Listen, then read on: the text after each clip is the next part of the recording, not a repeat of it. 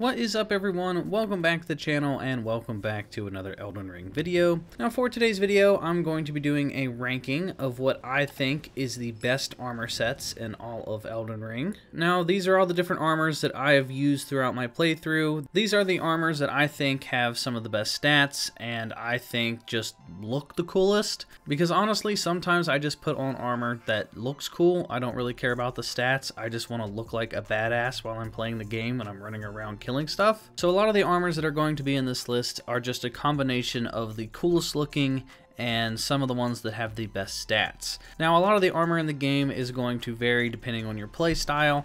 Now, with my playstyle, I like to have a medium to light load. I don't like to be weighed down too much, so I don't really play with the heavy set armors that much. And I haven't really played too much with magic, so I haven't done much of a mage build. I'm more of a run up in the enemy's face with a dagger or a sword and a shield, and I just beat the crap out of them until they die. And a lot of the armors that are in this list today are reflecting my playstyle. And in this video, I'm just going to be showcasing you guys the armor. I'm not going to be showing you the locations because this would be like an hour long plus video. So if you guys like any of the armors that I'm showing off in this video, or maybe I'm showing you an armor that you just haven't found yet or you didn't know existed, there are guides for literally like every armor set that you can think of on YouTube. So just look up any of the armors that I'm showing you today and you can easily find them. But with all that said, let's go ahead and get right into the list. So coming in at number 10, I have the Black Knife armor. Now the Black Knife armor pretty much makes you look like an assassin, which I think is really, really cool. It has this like translucent kind of invisible cloak that is around you, which also looks really cool. So if you want to make yourself look like an assassin, this is definitely one of the go-to outfits. It's pretty light, so if you like having a light build, you like running around with like a dagger or something, or dual-wielding daggers, this is a good set to have because it is light, and it does offer you some pretty good protection and damage negation, especially for how light it is, so I highly recommend this outfit if you are looking to be an assassin type character. So up next at number 9, we have the Drake Knight Armor set. Now the Drake Knight Armor set, I think, is one of the coolest looking in the game. Love the fact that its cape is made out of dragon wings and it just looks awesome. It's actually pretty light. It doesn't have the best stats compared to some of the other armor sets in the game, but this is just so cool looking that I had to include it in this list. It's an armor set that you can only get from playing late game content, so you're not going to be seeing this outfit for a while. The only thing I dislike about it is the helmet. The helmet, honestly, when you're running around and you're fighting and stuff, the random like dragon horn that's on the helmet kind of looks like a big pile of poop and it just looks stupid. I don't know what it is with this game's like helmet designs, but I think a lot of the helmets in this game just look wonky and I just don't like this game's helmet designs. I like a lot of the armor sets. It's just I don't know what they got going on with the helmets in this game, but I'm just not a fan of a lot of the helmets. I think it looks like a turd on top of your head. But other than the turd on the helmet, I think this armor set looks really really cool. So if you want to get yourself some dragon armor, definitely look up the Drake Knight armor set because it's awesome. So next up at number 8 we have the Gomir Knight outfit. I think I said that right. This armor, I think I found it on one of the catacombs and it, you know, it looks like a knight and it actually looks really cool. It has a really cool cape. I'm not the biggest fan of the big floofy thing on the top of it.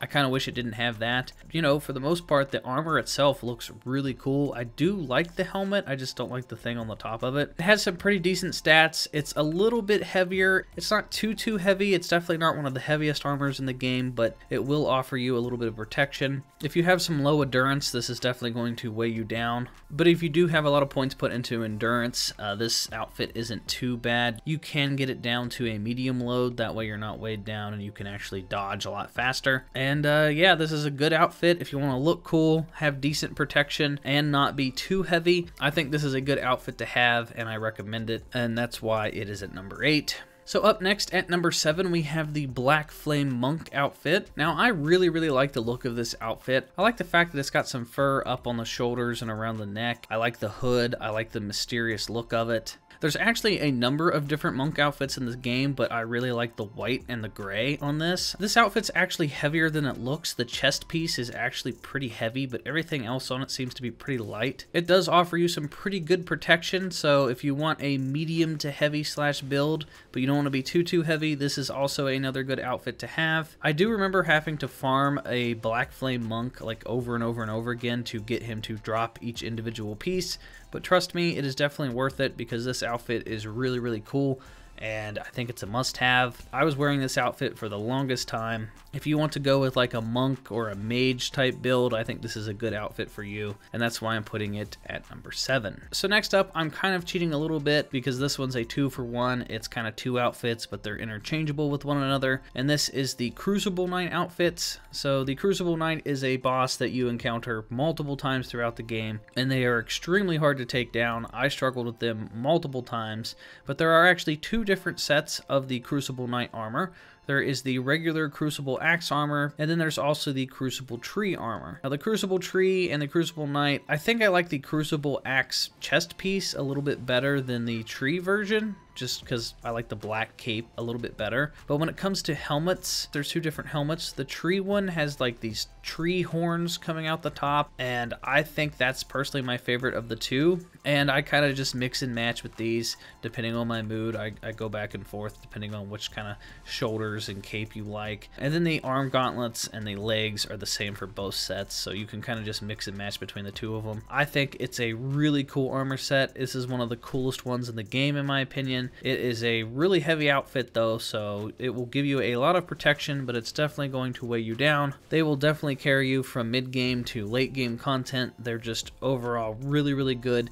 The sooner you can get your hands on this armor, the better, because trust me, it is definitely worth it. So next up is one of my favorites, which is Blade's armor or Blad's armor. I don't know how you pronounce his name, but it's the giant dog character that you encounter throughout the game. You find him from doing some side quests and stuff. You can actually fight him at some point and you can get his outfit. And separately from his outfit, you can get his mask, which I have combined with the outfit itself. And the whole outfit just looks really cool. I love going with the cape and you can combine this outfit with other helmets, obviously, if you want to mix and match because the stats on the mask aren't really the greatest. But the armor itself is a good medium to heavy build. I was wearing this outfit for what felt like forever. I just think this is one of the coolest looking outfits in the game. I can't get over how cool the cape looks. If you guys want to look like this dude, I highly recommend you look up how to get his outfit. It's a pretty lengthy quest, so it might take you a while to get it, but it's definitely worth it if you take the time to do the entire side quest to get this guy's outfit, because it's just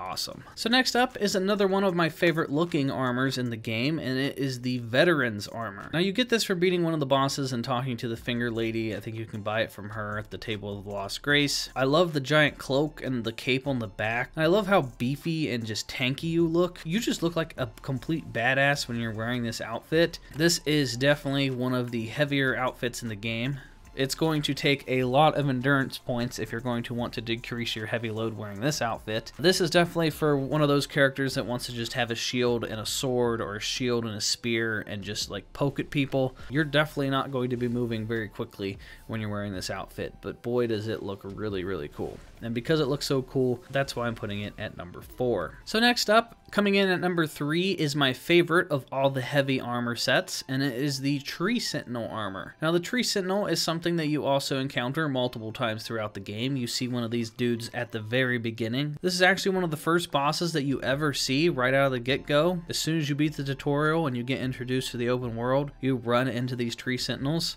And the Tree Sentinel armor, I think, looks just so cool. This is one of my favorite capes in the entire game. Just, you know, watching yourself in this gold armor with this really beautiful cape. I, I think this is just one of the best looking outfits there is. It definitely protects you from a lot of damage, but it is extremely heavy, so you're definitely going to be weighed down when you're wearing this outfit. But if you want to take a lot of hits and you want to look cool while doing so, I think this is the best choice. I can't praise this outfit enough. I think it just looks amazing and it's one of my favorite heavy set armors in the entire game. So up next at number two, we have the Night Cavalry armor. So the Night Cavalry armor, it basically makes you look kind of like a ring wraith. Now you get this from fighting those like ring wraith like enemies that you encounter at nighttime. These dudes are always pretty hard to take out because they're riding their horses and they're extremely fast and they do a lot of damage. But if you kill two of them together in a boss fight at the end of the game, you do get their armor set and it is just so cool. This is one of my favorite looking ones in the game. It's kind of a mid to heavy build, so it is fairly easy to have a medium load so you can roll around faster and dodge faster when wearing this outfit. It doesn't weigh you down too much, but it does offer some pretty good protection from different damages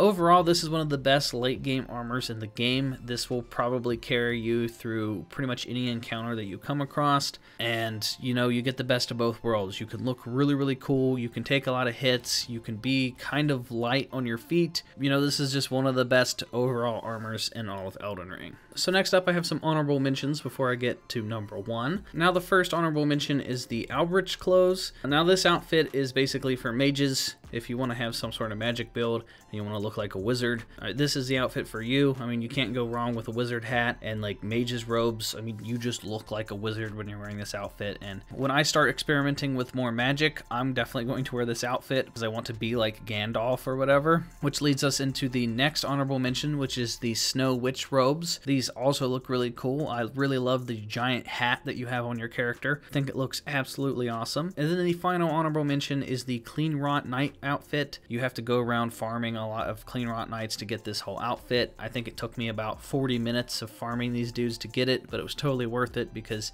it just looks really awesome. Which leads us into the number one armor set. This is my favorite, which is the fingerprint armor. It's got pretty decent stats for being as light as it is. You don't look bulky or anything. You have some cool looking armor on you and you have this like raggedy cape on your character and there's just something about this outfit but it really stands out to me. I'm getting some like old Dark Soul vibes with this armor. I'm a little biased with this outfit. For some reason I think this is one of the coolest looking outfits that there is in all of Elden Ring and that's why I'm putting the fingerprint armor at number one. So that is going to do it for this video everyone. If you guys enjoyed it please give it a thumbs up and let me know what you guys think down in the comment section down below. If there's any cool armors that I left out that you guys think should have made the list or, or any cool armors that you would have put in your top 10, let me know down in the comment section. There are a lot of different outfits in this game, so obviously not every single outfit could have made it, but I'm interested in seeing your guys' opinions down below. If you guys are new here, hit that subscribe button, hit the bell for notifications, and I will talk to you all